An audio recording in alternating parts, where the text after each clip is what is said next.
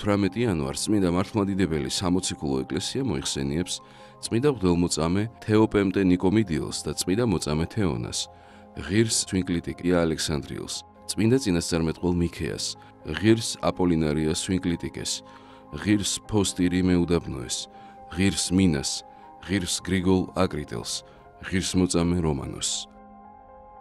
დღევანდელი დღის მფარველი წმინდანების ლოცვით და მეუხებით უფალმა დაიცვას და დაიფაროს სრულიად საქართველო. ამინ.